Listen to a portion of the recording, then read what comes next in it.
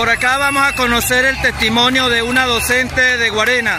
Ella nos va a explicar cómo hace un docente para vivir con el salario que están cobrando. ¿Cuál es su nombre? Isabel Salazar. Trabajo en el Centro de Educación Inicial Yolanda Martínez. Explíquenos cómo hace un docente venezolano para vivir con el salario que está cobrando. Lamentablemente en la actualidad los docentes venezolanos no vivimos, sino que sobrevivimos. La mayoría de los docentes están, son sustentos de su hogar y están yendo a sus escuelas sin alimento alguno.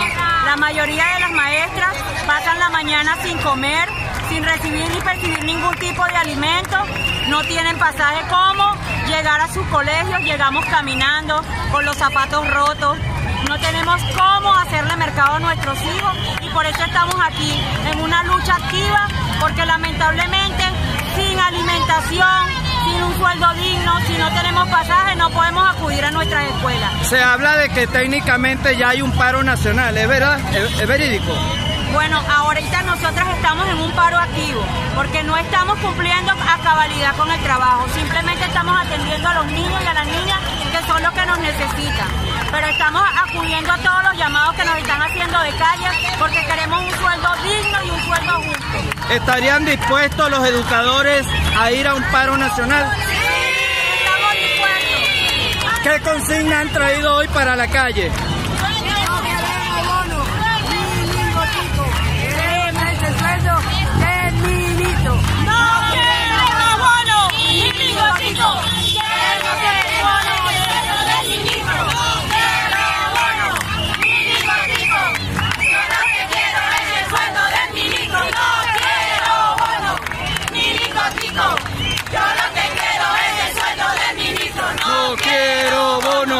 Ni lingotico. Yo lo que quiero es el sueldo del ministro, no Bueno, esta es la manifestación que se está desarrollando en estos momentos en la avenida intercomunal Guarena-Guatire. Desde Guarena les informó Ramón Antonio Pérez.